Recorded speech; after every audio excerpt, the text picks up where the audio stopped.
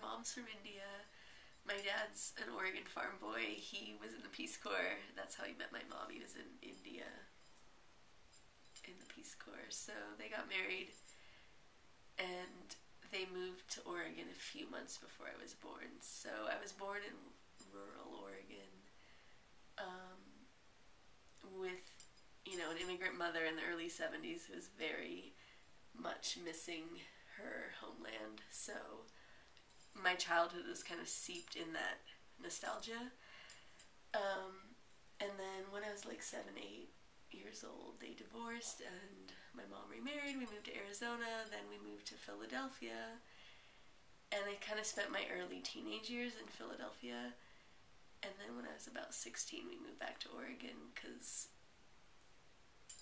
my mom just couldn't really deal with two teenage girls on the East Coast, so she thought, okay, I'll move back to Oregon and you know the girls will be close to their dad. So that's kind of my personal history. It's it's like seeped in this immigrant experience in rural Oregon. That's that really sums me up. Like I'm, you know, I grew up. Well, so when we lived in Tucson and in Philly, my sister and I would come home every summer to visit our dad, and we stayed on my grandparents' farm in Oregon City. So when we lived on the East Coast, we were kind of like the weird girls from Oregon. But then when we came back to Oregon, our cousins were like, "Yeah, you're the city slickers," but we weren't white, we weren't black, we weren't fully Asian. You know what I mean? So we we were always kind of like half in one world and half in the other, whether it was like city or rural or Asian or white. And so that's that's my personal history and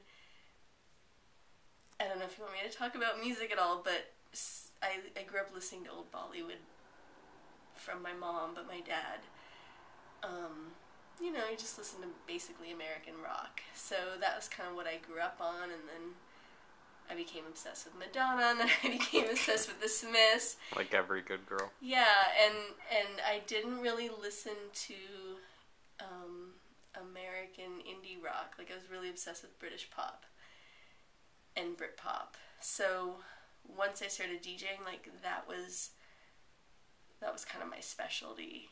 And then once we hooked up, it was he was really interested in the little bit of Indian music that I played and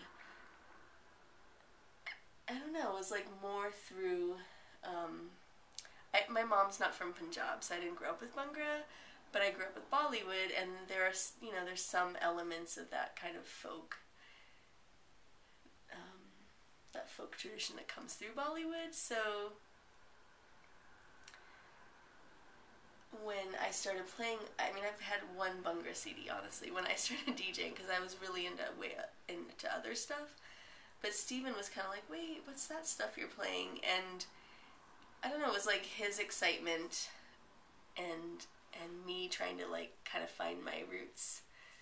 Um, that's where and you're moving to, well, living in New York. I, I did live in New York for several months, and I went to a couple Desi parties while I was there. Well, not a couple, but I went to quite a few, and um, I don't know. It was. I think that played into your developing interest because there was so much music available. There were so many like nights to go out to. And it wasn't just it wasn't just club nights though. Like I was going to all kinds of things while I was there. And this is in my late 20s, is when I kind of finally was like, wait, I'm half Indian. Like, I'm into this. Because, you know, in my teenage years, I was into heavy metal. And I went to go see Danzig and Anthrax and Iron Maiden and Metallica. Like, that's what I was into. I was like, I'm not Indian. Like, that's my mom, you know? And so it took me another decade to kind of come back to Indian music. So. Anyway, that's my background, and I could go on about that for a long time. Um, I have a very white bread American experience. um, my parents were very religious when I was growing up, so they were not happy with my listening to music. Um, it wasn't until I was a sophomore in high school that they were like, okay, you can do one of those like 12 cassettes for a penny, you know, Columbia House. um, and up until that point, um, there was a brief period of time where they were like, "Well, you can listen to Christian rock." So I had this like little window where I was like, "All right, I'm listening to Christian rock," which is mostly terrible. You heard it from me. um, but then my friends, all my friends were like the punk skaters at school, so they would sneak me little dubbed cassettes of you know GBH or the Descendents or whatever. So I kind of had this little thing on the side that my parents didn't know about because I lived in the basement and they couldn't necessarily keep up with what I was doing. Um, so when I was allowed to listen to music, the first thing I did was explore the music of my peers, which was all classic rock, Led Zeppelin, that sort of thing. Um, and then I think sophomore year in high school, I discovered The Cure. Now, as somebody who was very miserable and depressed and, you know, mopey teenager, and nobody understood him, and he was so lonely, and he had no girls, soaked up Robert Smith, soaked up The Cure, and then that led me to things like New Order and the Smiths and kind of the whole British alternative world at that time. Um, and then that just kind of led one thing to the next, just listening to all sorts of interesting things.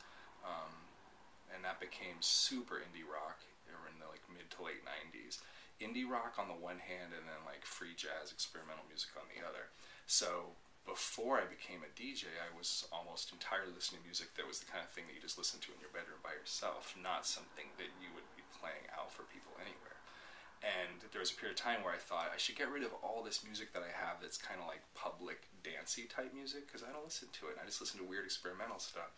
And so, what good is this stuff in my collection? But then a friend of mine said, "Hey, you want to DJ a, a house party?" I was like, "Okay."